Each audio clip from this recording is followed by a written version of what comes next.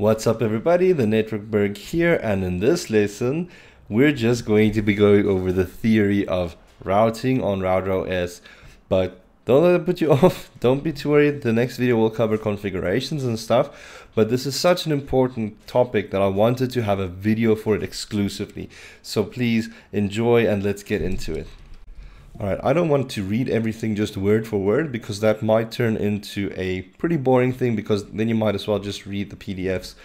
Um, so you're welcome to read through the things, the slide information while it's up on the screen, but I just want to give you my take on routing itself. So routing in essence is a mechanism that allows us a means of transporting packets across between different networks. So if we look at a network, uh, it typically consists of something like your hosts at the bottom, and then as you move up, you, you get your switches, which deals with the MAC addresses and forwarding frames and stuff, and then finally you get your routers, which is where all of the, the heavy hitting stuff is actually going to be happening because your routers are uh, responsible for two things really. The one is to stop broadcast traffic so that traffic stays in its broadcast domain, and the other thing is the router is responsible to forward the traffic out. It's supposed to route the traffic, send it out somewhere else. And this is in essence how the internet works. Everything is in is literally connected to another router. My router at my home, it's going to be connected to my ISP's router somewhere further down the line. Maybe I've got a fiber cable coming in, and then this fiber cable um, will get to a switch of theirs and the switch will eventually get up to a router somewhere in a data center. And then that router will connect to another router and another router and another router. And eventually until it gets to either my office or if i'm playing games against somebody um, it, it gets to those people's routers as well. And that is the, the gist of routers and the internet. But it shows you how important these devices are and understanding how routing works is very important. So let me just go on to the, the next uh, like uh, thingy, uh, MikroTik route selection process. So MikroTik in essence has two things happening in the backend whenever you're working with the routing. The one thing being uh, it's it's got a routing information base or a RIB, and that you can think of the calculations happening in the back end. We as administrators can sort of alter some of those calculations by using things like uh, route filters or mangle rules and whatnot, but for the most part, it is a calculation that happens in the back end that we don't see. It's the calculator. We press the buttons, and inside the calculator, it's figuring out the best path to get to a specific destination. And then we, as the administrators, at the end of the, the day, we see the FIB, the forwarding information base. So whenever we open up IP route or the routing table, what we see present in the table is the end result of after what happened on the routing information base. We see the forward information base. So now we understand, we see what conclusion the router has gotten to and how it's going to send packets out of the network. So that is something that you need to know about. Um, I'm mentioning here, you, you do get various different types of routes and there's also different types of routing flags that you need to be aware of. But typically, uh, you'll see there are stuff that we call directly connected routes which typically occurs whenever you create an IP address and you bind it to an interface, whatever IP range is configured against that interface, that would be considered a directly connected route. And that route will typically always be preferred over anything else. Actually, it will always just be preferred. That's just how it is. Uh, then you get stuff like static uh, routes that you can add, which we as administrators, we go into a routing table, we click on a little plus, or we do it in the command line, and we can specify ourselves how to route the traffic out. How do we want the traffic to get out of the network? And then ultimately, like I mentioned, the MTCINE and then the BGP stuff I was talking about, we get stuff that are called dynamic routing protocols. So that is your OSPF, your BGPs, your RIP, um, all, all of those type of things just that can automatically update the routing table where we don't need to intervene. And those things you'll come more across in the ISP spectrum, especially if you are an ISP provider, then you'll start to see more of those type of protocols. But if you're just a home user or you're just doing the MTCNA and you just need to um, figure out routing, then basically what you'll be working with is static routes and just understanding how the routes work.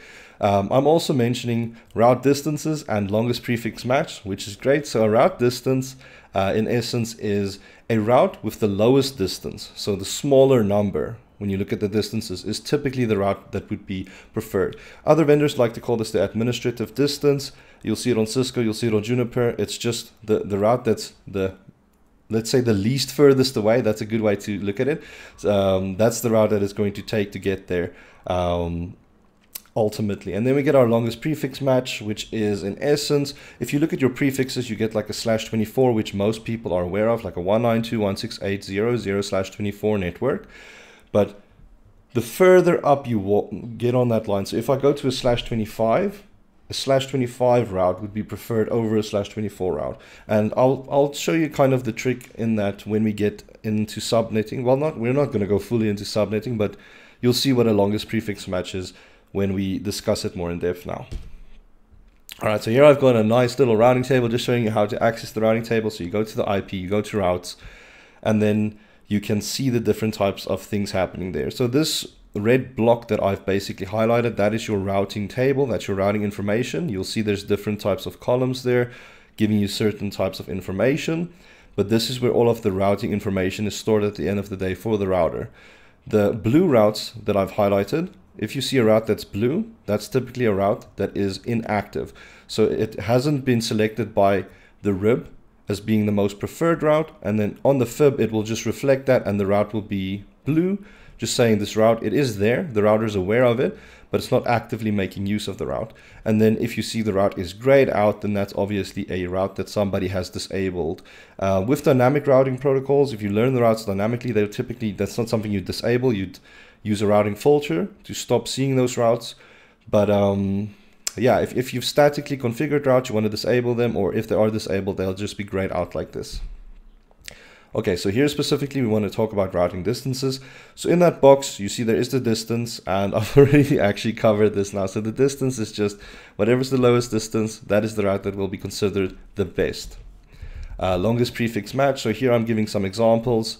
Um, but at the very bottom, if you look at the, the subnet portion that I put in here. So if you see a routing table and uh, here I say you want to know where traffic will be routed for 192.168.2.30 and you see there's multiple different routing entries that exist for the .2 network. So there's 192.168.2.0 slash 24, 192.168.2.0 slash 25, and 192.168.2.0 slash 26. So if you write those subnets just into a subnet mask format, so slash 24 is 255.255.255.0, um, slash 25 is 255.255.255.128, and then the slash 26 is 255.255.255.192. So if I look at this, this would be kind of the longest prefix match. There's more of these network bits that's on. So this is technically the longer match whenever the routing table needs to decide which one is preferred. Because this .30 host exists in all three of these routes, but the active route or the one that would be preferred would be the slash 26 because that is the longest prefix match. so I hope that makes sense. Okay, now I also just want to go over the routing flags quickly.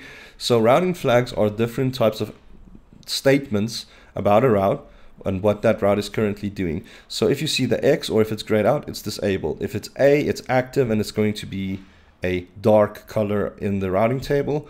If it's dynamically learned, you'll see a D. If you see it's a directly connected route, you'll see it will be like uh, the C here. If it's a static route, it will be an S. And these are your routing protocols, RIP, BGP, OSPF, MME and a black hole route would be B, which sounds pretty cool, but uh, it's it's at the end of the day that's just you sending traffic to the abyss, so it will never get anywhere. Um, and then you get these unreachable and prohibited uh, notifications, and I'll show you that in the MTCRE stuff. This you don't really need to know for the MTCNA, but I just want to go back to this routing table and the flags will come up in this little block. So here you can see there's the different type of uh, flags associated with them. And I'd like to talk about this route quickly because this comes up a lot. This is your default route 0000 slash 0 and this basically tells you how to get out to the internet right and i think i've told you guys this in, in an earlier video but that's your internet route but if you use something like a triple PoE connection or a DHCP client to obtain a default route, you might see a route saying something like DAS. So this is quite strange because the D stands for dynamic, but the S stands for static as well. So how can that be? how does that happen? And I'm just quickly going to explain that. So a DAS route can occur, and that is only in the event of the triple PoE or DHCP client assigning this, because the router is actually statically creating the route for you. The router is injecting that static route in the routing table, but it did dynamically get that route from a server somewhere, either a triple PoE server or from the um, DHCP server. All right, so that, that is why you might see a DAS server sometimes. So don't, don't be too freaked out if you see a flag that says DAS. All right. Oh, I, I could have just gone right here. So here you can see a better example of the flags as well. And if you do IP route print from the command line, you'll also see the flags right there. And the, the boxes are exactly the same if you think about it. It's just uh, whatever you prefer, what you think is better. All right, here we can discuss the routing protocols. I have briefly gone over them, but again, you get OSPF, BGP, RIP, um, but it's all, uh, you don't really need to know in depth the working of these uh, or inner workings of these protocols. You just need to understand they exist. So if you see routes being learned by OSPF and maybe you do have a network engineer working above you, maybe you're a um, tier one or level one engineer and you need to escalate, they might deal with the OSPF bits and then you can tell them, okay, I see this is being learned by OSPF and it's not working. Can you maybe uh, help us check that out a bit further?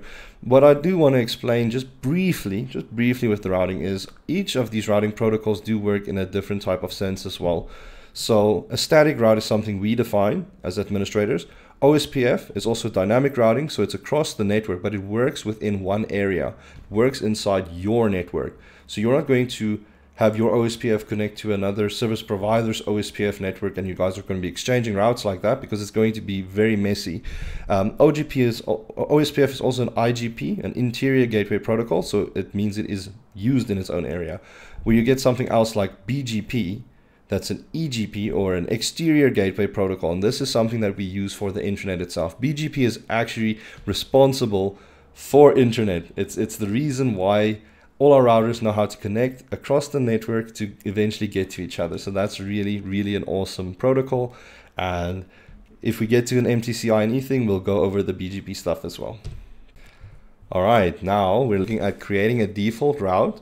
So this is us as administrators specifying ourselves instead of learning it through a DHCP client or through something like triple PoE. So if we read what I've written here, a default route can be considered a catch-all route, which simply put will be a route the router will use to forward traffic if any prefix is not matched in the routing table. So that's absolutely correct. That's 0.0.0.0 slash 0 route. If no routes exist in your routing table for the destination and there is a zero route, or I'm going to just call it the internet route, then it will always take that path out and go to the next gateway that's been specified there. And then it becomes that gateway's problem to try and get to that final destination because that's how routing works. You, you just kind of pass the traffic onto another router and you kind of hope that they know um, where that's going. If they don't have any route for that specific destination, they'll drop the traffic. If your own router doesn't have anything, so it doesn't have a default route or any routes, uh, it will also just discard those routes.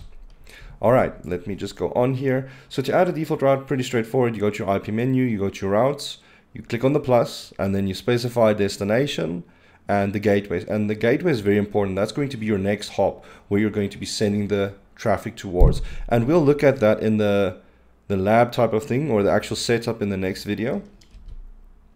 And then routing between different networks. So this works on, I'm not going to say the assumption, but this works off of the um, idea that you are connected to different routers and you are aware of what networks they have hosted and you are hosting specific networks and maybe they want to get your networks as well. So in essence, you'll be able to set up routing between the routers or towards a different router so that you can eventually actually get to that specific destination. Uh, here I've got a little diagram just showcasing kind of what routing would work like. So let me see, can I get my mouse here? Yes, I can. So I've got a computer here in this 192.168.30.0 slash 24 range. The computer's IP address is .100. And then there is a little MikroTik with .1 being the default gateway. So this computer would use .1 as its default gateway. It, it would have its own zero route and it would send that to the MikroTik and then it becomes the MikroTik's problem to try and get somewhere. And let's say this computer on the left hand side wanted to get to 172.16.20.200 which was maybe a web server or um, some kind of um, file server or something. Then what would happen in that case is this router router 1 would need to know how to get to this IP range. And in its routing table maybe it doesn't have any routes and now you need to statically set a route. But you can see there is a link between router 1 and router 2 and this IP between the two routers is 10.18.00/30 with router 1 having dot 1 and router 2 having dot 2. So in this event, router 1 would have to have a route setup that specifies 172.16.20.200 or not 200.0/24 is its destination and to get to that destination I will use .2's IP or router 2's IP address here to get there. So it would have a route for that uh, destination and would push the traffic to 10.18.0.2.